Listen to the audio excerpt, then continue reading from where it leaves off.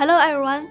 In the last video on NAT64 technology, I talked about the IPv6 evolution process. As we evolve from IPv4 to IPv6, IPv4 and IPv6 network services will coexist for a long time. The dual stack technology enables devices to run both IPv4 and IPv6 services. It allows devices to communicate with IPv4 enabled and IPv6 enabled devices using IPv4 and IPv6 respectively.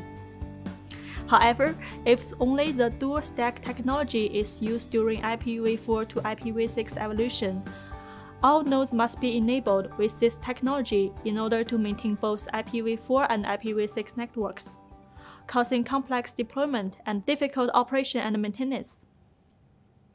Emerging carriers cannot obtain new IPv4 addresses due to IPv4 address exhaustion, and deploying dual stack involves high costs.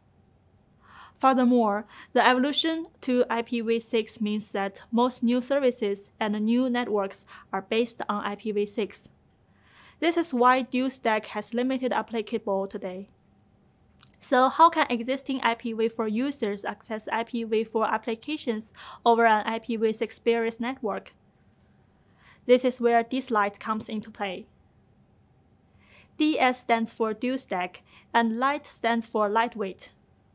DSLite is a lightweight dual stack technology. So what does light signify? Unlike dual stack, DSLite requires only devices at the border of IPv4 and IPv6 networks to support dual stack and the intermediate nodes to support only IPv6. DSLite is a combination of IPv4 over IPv6 tunneling and NAT. IPv6 networks can directly carry IPv6 services, allowing IPv6 users to access IPv6 Internet servers. IPv4 over IPv6 tunneling is used to carry IPv4 services on the IPv6 network, and NAT is performed on the CGN devices to translate between public and private network addresses. So that IPv4 users can traverse the IPv6 network to access IPv4 internet servers. On a network running DSLite, two new rules are introduced, B4 and AFTR. Both rules support dual stack. B4, the creator of an IPv4 over IPv6 tunnel is usually implemented on CPEs. AFTR, the terminator of an IPv4 over IPv6 tunnel, is usually deployed on CGN devices. It decapsulates IP packets, performs NAT, and records NAT mapping. Now let's look at how DSLite is implemented. IPv6 users can access the IPv6 internet server through normal IPv6 forwarding.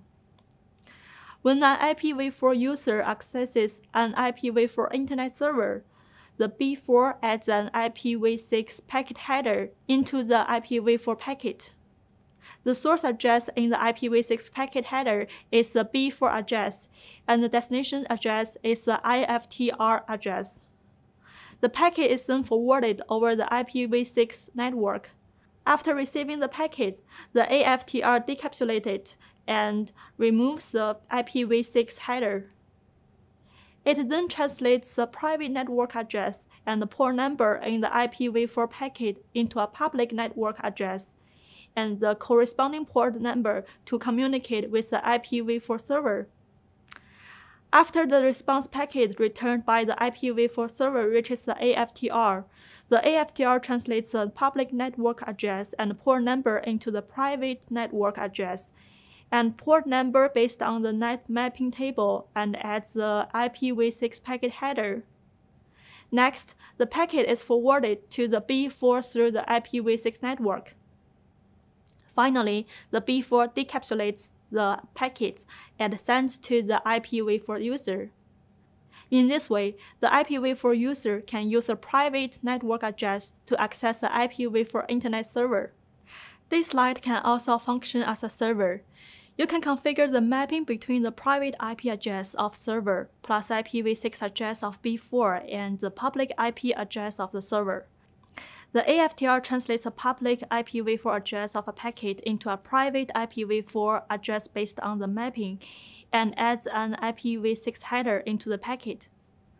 The packet is then forwarded over the IPv4 network, decapsulated on the B4 and sent to the IPv4 server. In this manner, IPv4 Internet users can traverse the IPv6 network to access IPv4 servers. NAT provides a NAT ALG technology to translate IP addresses and port numbers in the payload of application layer protocol packets to ensure normal running of application layer protocols.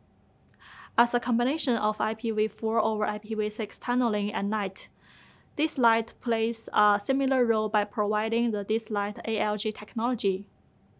Take FTP as an example. The FTP client on the IPv4 network needs to traverse the IPv6 network to access the FTP server on the IPv4 internet.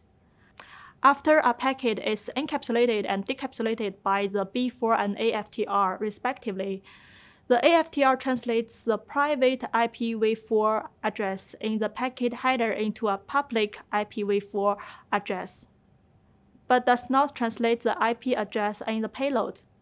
After receiving the packet, the FTP server regards it as an invalid packet and cannot communicate with the FTP client. If DSLite ALG is configured, the IP address in the payload is also translated, and the two parties can then communicate. DSLite ALG cannot solve the problems of all application layer protocols. For example, complex protocol packets like HTTPS packets cannot be translated.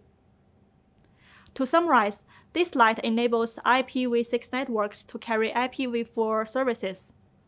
In the last video, we talked about limitations of NAT64. DSLite, a combination of IPv4 over IPv6 tunneling and NAT has similar limitations. First, the CPE need to be upgraded and special boards or devices need to be introduced for NAT. All this is costly. Uh, second, packet decapsulation and NAT increase the device processing delay, making it unsuitable for delay-sensitive services.